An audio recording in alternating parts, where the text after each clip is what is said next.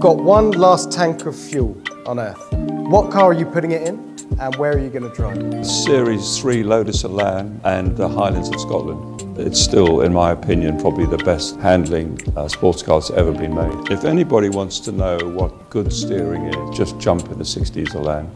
I tried to beat it with the F1 and failed. Tried to beat it with the Rocket and failed.